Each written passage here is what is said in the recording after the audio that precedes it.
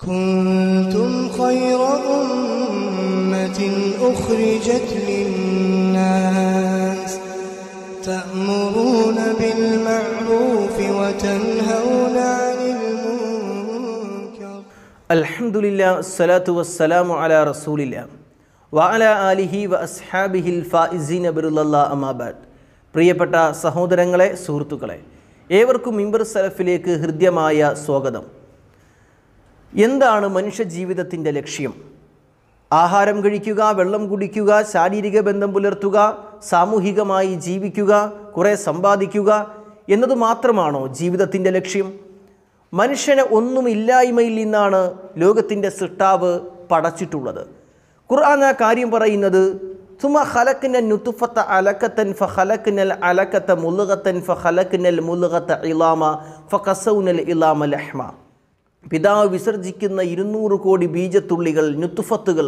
ആ നുത്തുഫയിൽ നിന്ന് ആ ബീജത്തിൽ നിന്ന് ലക്ഷണമൊത്ത ഒന്നിനെ തിരഞ്ഞെടുക്കുകയും മാതാവിന്റെ ഗർഭാശയത്തിൽ അതിനെ സിക്താണ്ഡമാക്കി അലക്കത്താക്കി രൂപീകൃതമാക്കുകയും ആ അലക്കത്തിനെ മാംസപിണ്ഡമാക്കുകയും ആ മാംസപിണ്ഡത്തെ എല്ല് ആയി മാറ്റുകയും അസ്ഥികൂടമായി മാറ്റുകയും ആ അസ്ഥിയെ മാംസം കൊണ്ട് പൊതിഞ്ഞ് നല്ലൊരു സൃഷ്ടിപ്പായി നിങ്ങളെ പുറത്തേക്ക് കൊണ്ടുവന്നു എന്നാണ് അള്ളാഹു സുബഹാനഹുവത്ത അല നമ്മളോട് പറയുന്നത്.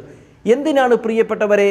ഈ അത്ഭുതകരമായ പത്തു മാസമോ ഒമ്പത് മാസമോ നീണ്ടു നിൽക്കുന്ന ഈ പ്രക്രിയയിലൂടെ ഒന്നുമില്ലായ്മയിൽ നിന്ന് കാണാനുള്ള കണ്ണും കേൾക്കാനുള്ള ചെവിയും സംസാരിക്കാനുള്ള നാവും ആഹാരം കഴിക്കാനുള്ള വെള്ളം കുടിക്കാനുള്ള വായയും അങ്ങനെ തുടങ്ങി എന്തെല്ലാം അനുഗ്രഹങ്ങൾ ഒരു പോരായ്മയുമില്ലാതെ ഏറ്റവും നല്ല സൃഷ്ടിപ്പിന്റെ ഉടമയായി ഏറ്റവും നല്ല സൃഷ്ടിയായി നമ്മളെ ഈ ലോകത്തേക്ക് പറഞ്ഞയച്ചു. എന്തിനായിരുന്നു? എന്തിനു വേണ്ടിയായിരുന്നു എന്ന ചോദ്യം ശ്രദ്ധേയമാണ്. പക്ഷികളെപ്പോലെ പറന്നു നടക്കാനായിരുന്നുവോ? മത്സ്യങ്ങളെപ്പോലെ നീന്തി തുടിക്കാനായിരുന്നുവോ? അല്ല ഖുർആൻ പറയുന്നത് സൂറത്തുദാരിയത്തിൽ ശ്രദ്ധേയമായൊരു സൂക്തമാണ്. വമാ ഖലഖുത്തുൽ ജിന്ന വൽ ഇൻസ ഇല്ലാ ലിയഅ്ബുദൂൻ. മനുഷ്യനെയും ജിന്നുകളെയും അള്ളാഹു സൃഷ്ടിച്ചത് അവനെ മാത്രം ആരാധിക്കാൻ വേണ്ടിയാണ്. മാ ഉരീദു മിൻഹുമിൻ റിസ്ഖിൻ വമാ ഉരീദു അയ്യുതിഇമൂൻ എനിക്ക് ആഹാരം നൽകണമെന്നോ എനിക്ക് ഉപജീവനം നൽകണമെന്നോ ഞാൻ അവരിൽ നിന്ന് ആഗ്രഹിക്കുന്നില്ല. സൂറത്തു ദാരിയാത്തിന്റെ അമ്പത്തിയാറ് അമ്പത്തിയേഴ് വചനങ്ങൾ. അള്ളാഹു സുബഹാനഹൂവത്ത് അല നമ്മെ സൃഷ്ടിച്ചത് അവനെ മാത്രം ആരാധിക്കാനാണ്. അവനിൽ ഒന്നിനെയും പങ്കു ചേർത്തുകൂടാ ഏകനായ പടച്ചതമ്പുരാളിൽ മാത്രമാണ് നിന്റെ ശിരസ്സും നിന്റെ കരങ്ങളും നീട്ടേണ്ടത് നിന്റെ ശിരസ് സമർപ്പിക്കേണ്ടത്.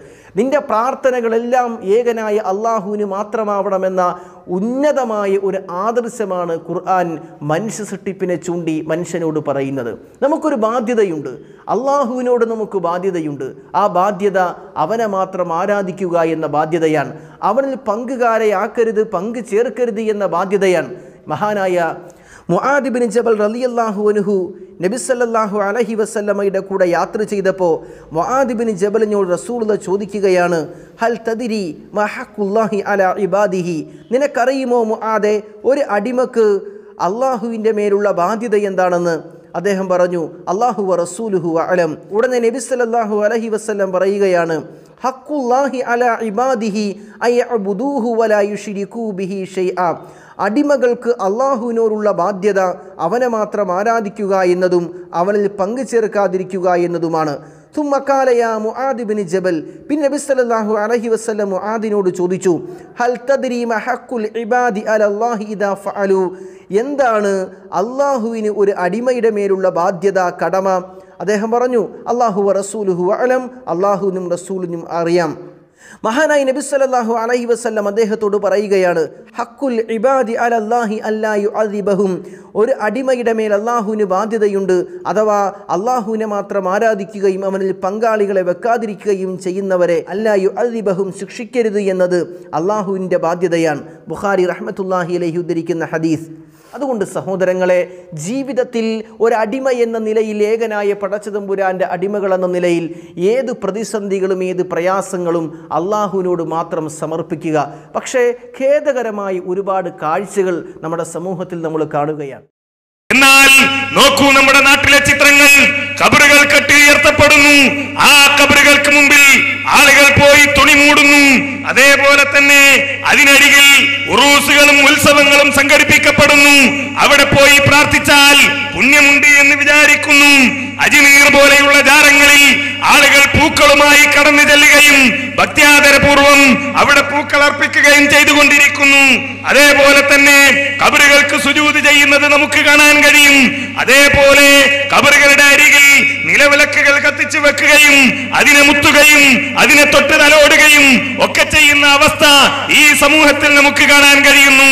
കബറുകൾ മാത്രമല്ല കല്ലുകൾക്ക് മുമ്പിൽ പോലും സുരൂത് ചെയ്യുകയും പ്രാർത്ഥനാ നിർഭരമായ മനസ്സോടുകൂടി കടന്നു ചെല്ലുകയും ചെയ്യുന്ന സമുദായം തീരുന്നില്ല. മരങ്ങൾക്ക് മുമ്പിൽ കേവലം കബറില്ലാത്ത ഒരു മരത്തിന് മുന്നിൽ പ്രാർത്ഥനക്ക് നേതൃത്വം നൽകുക ഇത്തരത്തിലുള്ള അപകടങ്ങളിലേക്ക് നമ്മൾ ആരും പോയിക്കൂടാ. നമ്മെ അറിയുന്ന നമ്മുടെ ഹൃദയമറിയുന്ന നമ്മുടെ ഖണ്ഡനാടിയേക്കാൾ അടുത്ത ഏകനായ അള്ളാഹുവിനോട് മാത്രം പ്രാർത്ഥിക്കുക. അവനിൽ ഒരാളെയും പങ്കുചേർക്കാതിരിക്കുക. അള്ളാഹു നമ്മെ അനുഗ്രഹിക്കുമാറാവട്ടെ. അസ്സലാമു വലൈക്കും വറഹ്മത്തുള്ളാഹി വബറകാതുഹു